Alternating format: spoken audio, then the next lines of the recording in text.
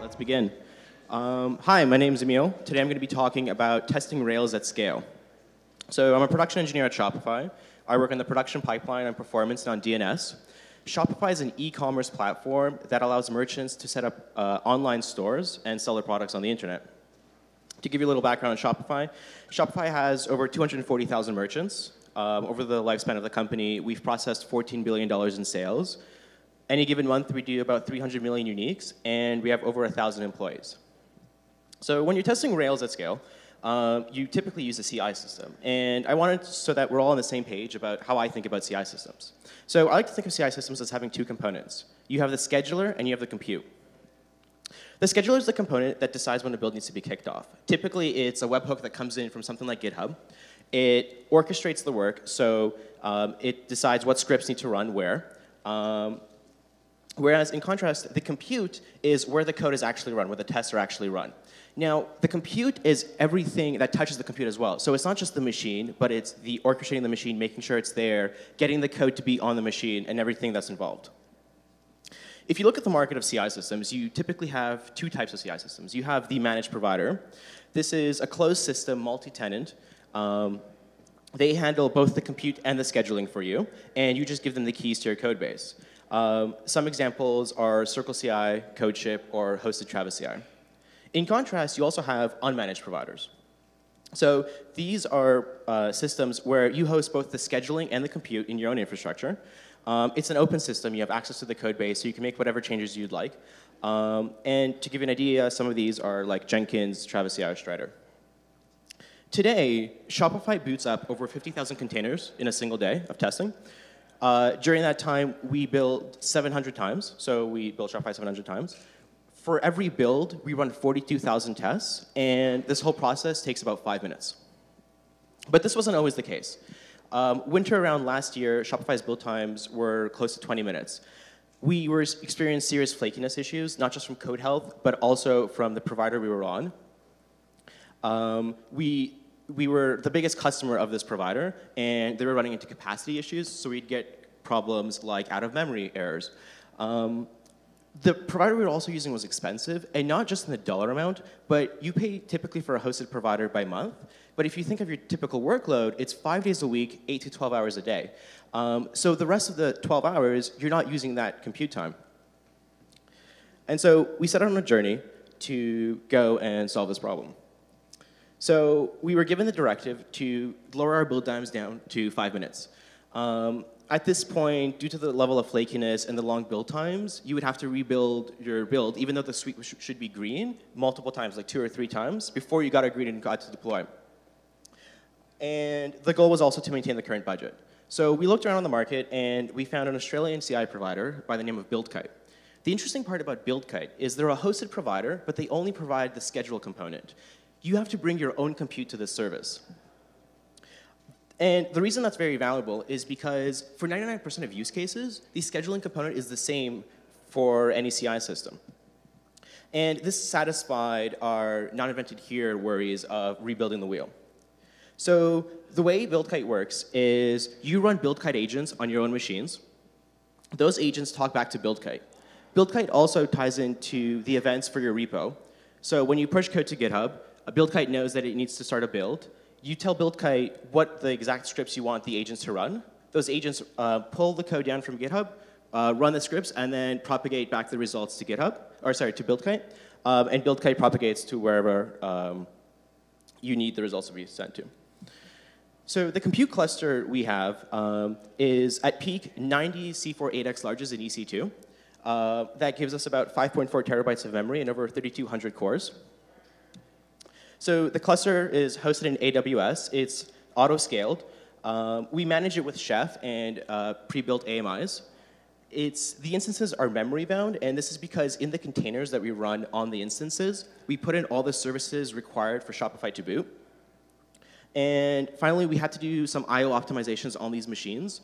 Um, because of the write-heavy workload we do when you download a ton of containers. So the, we use RAMFS on the machines. So I mentioned we auto-scale um, our compute cluster. we couldn't use uh, Amazon's autoscaler because Amazon is autoscaler works only on HTTP requests. So instead we had to write our own. It's just a simple Rails app, but the way it works is it pulls BuildKite for the current running BuildKite agents, and it, it checks how many are required, um, based, and BuildKite calculates this based on the number of builds it needs to run currently.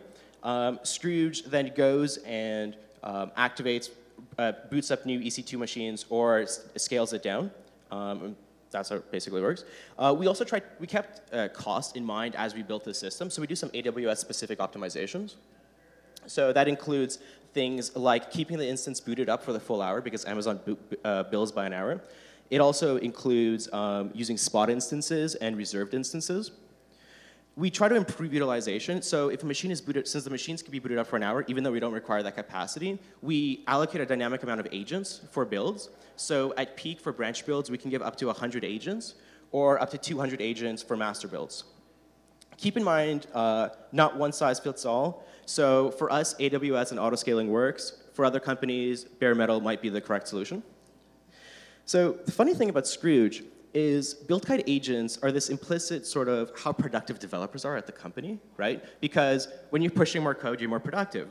Um, and so we can track the amount of productivity, per se, going on. Um, and so I took this graph from an average day, and you notice there's three points. Can anybody guess what the two uh, valleys and the one peak is? Any guesses? Coffee? Lunch. So at Shopify at the bottom, um, that's in UTC time. And lunch at Shopify is at 11.30 to 1.30. So that first peak is the first lunch rush. People get up and they go to lunch. But what, oh, sorry, that first uh, canyon is the lunch rush. What's the peak? Well, what do you do when, before you leave your computer and you're working on something? You commit, work in progress, and then you push it up to GitHub, right? So that's what that second peak is. And then that big dip is everybody going for lunch. So I mentioned containers. The large speed up we got with the compute was using Docker and using containers to um, run our tests. So we were able to get a large speed up because we do all the configuration that you would need during the container build, and then you only have to do it once. And the moment a, a container is on a machine, it can instantly start running tests. So things we do are things like uh, we get our dependencies all on the machine, we compile all of our assets. We also get test isolation from Docker. This isn't as big of a uh, deal with Rails, but it's still quite useful. Finally, Docker provides a distribution API. Um, most things speak uh, Docker, so we can put the container anywhere we want as long as we um, announce where the registry is. Um, so Shopify has uh, outgrown Docker files. We have our own internal uh, build uh, system called Locutus. It uses the Docker build API to build containers uh, using bash scripts. Um, it ran on a single EC2 machine at the time of this first iteration uh, for our CI system. And this single EC2 machine wasn't dedicated to Locutus. It was one of those machines where you have a bunch of apps that need to run in production, but they're not critical for production. So you like put an app, you put an app, you put an app, and then eventually uh, you have this a bunch of apps on this one machine, and it's become production critical. So it was one of those. Um, and building containers for our CI system forces us to repay a lot of debt, a lot of technical debt. The app has grown. Uh, Shopify is 10 years old the code base. Um, and so you accrue a lot of technical debt. And so while we were trying to build containers, uh, we ran into really weird issues like compiling assets required a MySQL connection. For test distribution, uh, we went with the uh, simple solution. We, um, every container ran a, a, set of tests plus an offset based on the container index. Um, we had two categories of containers. So some containers ran Ruby tests and some ran browser tests. And the issue we ran into with this is Ruby test, the Ruby test pool was much larger, and um, browser tests are much slower, whereas Ruby tests were faster. And so what would happen is the Ruby test would be would complete running, and then the browser tests would take a couple more minutes, resulting in build like uh, longer build times. For artifacts, at the end of a, of a CI run, the agents on the boxes would go into Docker, grab the artifacts, and upload them to S3. We also had an out-of-bounds service that would get webhooks from BuildKite, uh, dump some of those artifacts into Kafka, and emit some metrics on, to StatsD. All roads in Shopify on Kafka lead to Dataland, so we were able to use some of those artifacts to then later go and find flaky tests or um, flaky areas of the codebase. And this was our first iteration. This is what the final architecture the first iteration looked like. But then Docker decided to strike back. So we shipped a second provider, um, but when we shipped the second provider, we brought a bunch of confusion to the company. We had decided to run both of them in parallel. We also noticed that a single box doesn't scale, uh, and Locutus started running into capacity issues. And the uh, categorization, or the two, um, having two different types of containers run tests um, was making our builds longer than they should have been. So battle of confusion. When we, we decided to ship both CI systems in parallel, so we could gain more confidence before we rolled it out and removed the old CI system. The problem with this is we did a bad job of communicating to the whole company what we were planning on doing and how we were doing it. And developers um, saw two statuses. One was green, one was red, and they weren't sure which to, which to trust, which to believe in. Um, and so this unfortunately eroded developer confidence for us. The solution for it was to uh, full on switch the new system to 100% and take the dive in cluster in Locutus. So we, when we outgrew our current Locutus instance, we knew we had to go to the drawing board and rebuild and make it uh, scalable. We also wanted to keep it stateless as much as possible. Um, and so this is what we ended up building. Uh, we ended up building, so the, the new, the old version of Locutus had a single instance. It would get the webhooks and it would run, it would build the container and then push it up to the Docker registry. In this new, in this new version, the, we had a coordinator instance that would get the webhooks. It would then allocate the work to a pool of workers. The workers, each, um, each repo was hashed to a particular worker. And so the same worker would receive the same uh, work, uh, or sorry, the same, yeah, the same work. Um, and now when I say stateless-ish, uh, that's because there's a cache on each one of these uh, machines. And when you can lose the cache and the containers will be able to build the container, the workers will be able to build the container fine. The problem is though, is once the cache is lost, it could take upwards of 20 minutes to build a new container, um, which just doesn't work that well. So our second uh, stab at test distribution, we, the first container that would boot would load up all its tests into Redis. The rest of the containers would look at that Redis queue and pull off one by one the test suite or uh, test job. Um, we also got rid of te uh, test uh, specialization. So containers ran all tests, and this equalized the running time of containers, so they would finish within tens of seconds of each other. Finally, this is what the second iteration of our CI system looked like. So Docker, the gift that keeps on giving. Um, so no one tests starting tens of thousands of containers a day. And Docker doesn't do that, unfortunately. But it's exactly what we were doing in our CI system. We ended up running into a bunch of instability with Docker, and we didn't account for these failures. And this, unfortunately, did erode some developer confidence in our new system. Every new version of Docker had major bugs. They would fix old ones, but they would bring in new ones or bring back old ones. Some examples are we'd see network timeouts randomly happening. Um, we'd see kernel bugs where Docker would refuse to boot up if AppArmor was on the machine. We saw issues where concurrent pulls would cause deadlocks. So that was a lot of fun.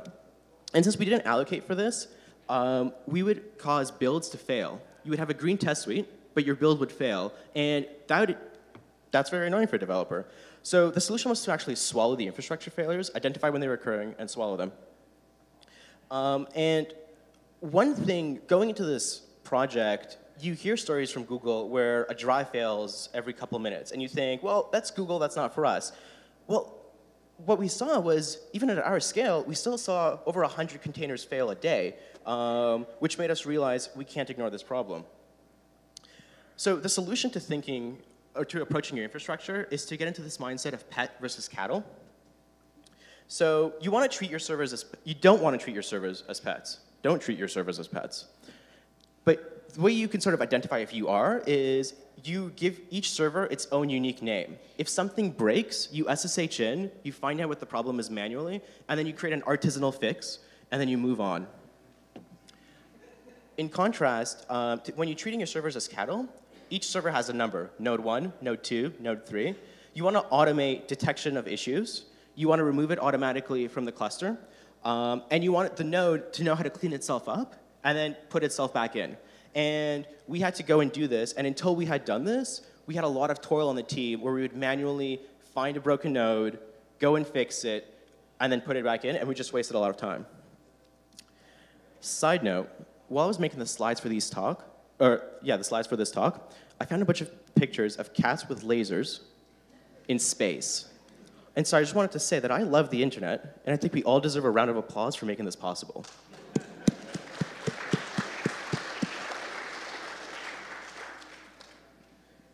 Now, our third iteration on our test distribution was um, actually stability. Or so the problem we saw with test failures is you can get into this race condition where a container pulls a test off of the queue, it fails, but then since all the tests are run and all the tests were green, and nobody knows that this test was never run, the build is green.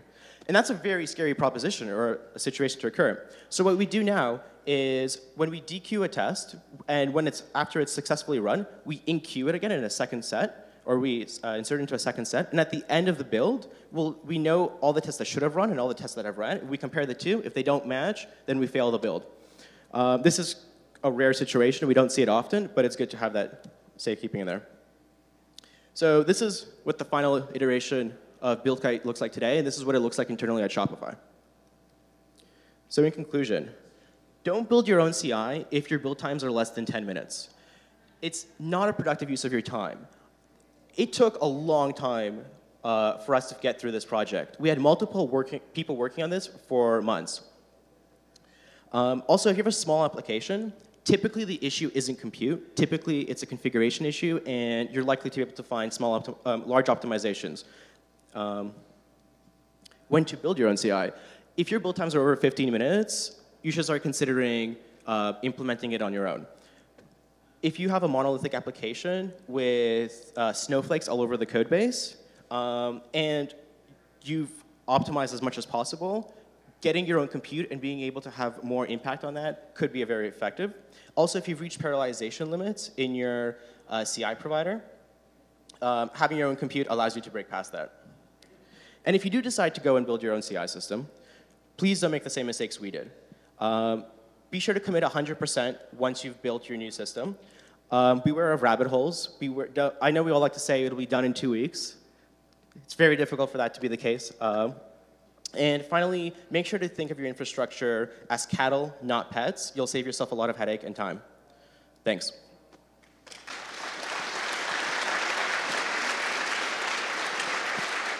Um, so the question was, did we spend any time optimizing the code base or the tests um, instead of just focusing on the CI system? Yep. Um, so we actually didn't. We found that parallelization was enough at the, at the time. Um, when you have something like 40,000 plus tests, like you're going to have some slow ones, um, and it just evens out in the long run. The issue we did find with the test code base is flakiness. So you'd be surprised by the amount of tests that assume state because of the order the test suite is run in. And when you distribute tests from a queue and they're on different containers, the state is different. Um, and so we had a lot of, we had to spend a lot of time and develop some tooling around going in and like figuring out why a test is flaky, fixing it. So that's where we spent time fixing it. So the question is, how bound is the, C the system to Docker? Yeah. Um, I would say most of the speed up we got was actually from Docker. Um, and not Docker itself, but the, uh, using containers. So the reason is when we built the container, a lot of the time today you spend in a CI system or in most CI systems is the configuring the application to be able to run tests, so compiling assets, downloading the new gems, on and on. When we built, when we used Docker, we were able to do all of that once, and then um, all the instances just could instantly start running the tests. Um, so a lot of the speedup did come from Docker. Uh, we also did get, gain a lot from the parallelization, so you would see a lot of gains there though. Um, so the question was, what was the time frame of the project, essentially? So we started initially working on this in the winter last year. Uh, by the summer, we were, I would say, around phase two. So most of the company was already using BuildKite and this new system, and we had seen the performance gains. But during that time, we spent a lot of time going through learning the, hey, now half the team is like trying to fix these machines.